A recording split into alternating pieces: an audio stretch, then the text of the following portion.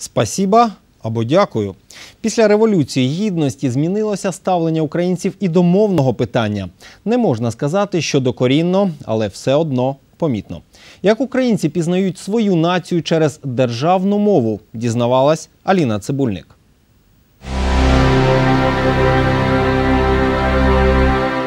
На лекцію про зміни в Україну та російськомовному суспільстві зібралось чимало людей. Тут і там лунають дві мови. Державна звучить частіше. Дехто з присутніх спілкується нею не так давно, іноді помиляється, однак спокійно продовжує. Тетяна спостерігає, після революції гідності україномовних значно побільшало.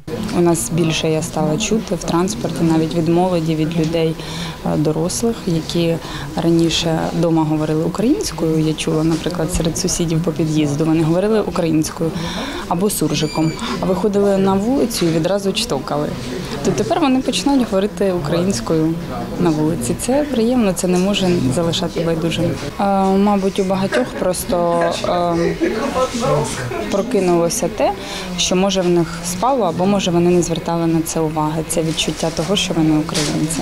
Лекцію, присвячену обговоренню цього питання, проводить засновниця безкоштовних курсів української мови Анастасія Розлуцька. Розповідає багато, відзначає найголовніше. Зараз і справді виріс попит на вивчення української. Ми вже можемо говорити про те, що запит на вивчення української мови збільшився, бо ми ведемо статистику по наших власних безкоштовних курсах української мови. Чотири рази у нас зріс попит на вивчення української мови. Тому ця дискусія є важливою, тому що ми говоримо і про агресора, як такого, який на територію України заходив з гаслом, швидше за все, можна так сказати, е, про захист російськомовних, і вона є природньою е, в суспільстві, е, де є мовна проблема, є мовна дискусія і є потреба у вивченні української мови.